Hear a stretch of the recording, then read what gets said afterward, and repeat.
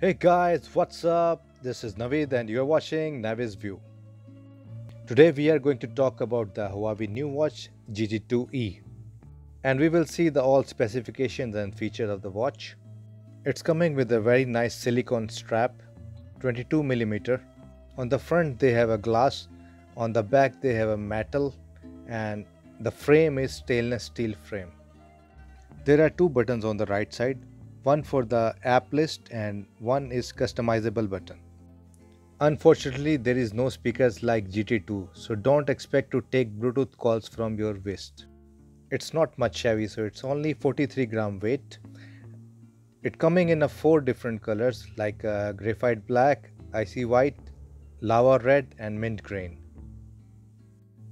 The big design means there is a room for a big display.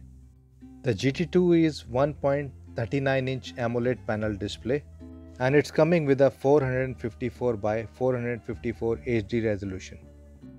There is an always on display option that will decrease your battery life by a few days even with it turned on along with the heart rate sensor and occasional GPS workout I still managed to get a great battery life. It's coming with a 455 mAh battery and approximately it's giving 2 weeks. In processor they are using Kirin A1 chipset and it's coming with a 4GB storage also. Huawei also add 85 other workout modes like belly dancing, skateboarding and other general activities. The GT2e will also support automatically activities recognition for 6 workouts. GT2e is water resistant 5 ATM. Resisting pressure under water 50 meters. This means you can use this one for swimming, but it's not recommending for a scuba diving. You can get GT2e just in 599 dirhams.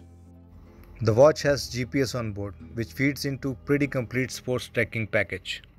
All day fitness tracking is a big part of the offering here, and you can swipe across the watch face to see your steps. There is also stress tracking with a feature called TruRelax. After introducing stress monitoring on the GT2, it's no surprise to find that make an appearance on GT2e as well. There is an optical heart rate monitor on board and that is also backup with a SpO2 sensor for blood and oxygen reading.